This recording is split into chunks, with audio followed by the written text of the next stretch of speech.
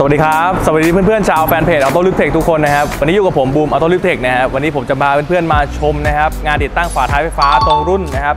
Honda Accord G10 นะครับ คันนี้เลยนะฮะลูกค้าเข้ามาทำการติดตั้งนะครับ ซึ่งเดิมๆจากโรงงานมาเนี่ย จะไม่มีฝาท้ายไฟฟ้ามาให้นะครับ จะมีเพียงแค่ระบบเปิดฝาท้าย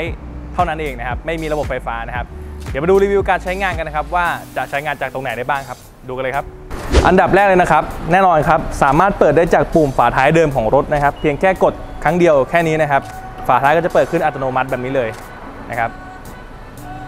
ปิดเปิดได้นุ่มนวลมากนะครับตัวนี้เรายังมีการบิ้วเป็นสวิตช์ปิดนะครับเพิ่มให้บริเวณตรงนี้นะครับ สามารถกดปิดจากด้านในฝาท้ายได้เลยนะครับแบบนี้เลยและแน่นอนครับ จากรีโมทเดิมของรถก็ยังคงสามารถใช้งานได้นะครับ ทั้งรีโมทตัวจริงตัวนี้แล้วก็ตัวสแปร์นะครับ โดยการกด เหมือนเดิมเลยนะครับ เปิดฝาท้ายที่รีโมทนะครับนี่นะฮะและยังสามารถกดปิดนะครับจากปุ่มเดิมของรถได้เช่นเดียวกันนะครับลองปิดนะครับครับสำหรับ Accord G10 บอกเลยว่าหรูหรามาเห่าสุดๆนะฮะ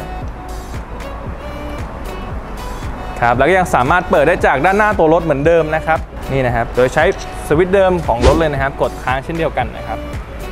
อ่าทั้งเปิดและปิดฝาท้ายนะครับผมแน่นอนครับ คันนี้ลูกค้าเข้ามาเพิ่มเป็นอ่าตัวเซ็นเซอร์เท้าด้วยนะครับ สามารถเตะเปิดและเตะปิดฝาท้ายได้นะครับ โดยการเตะบริเวณสเกิร์ตหลังนะครับ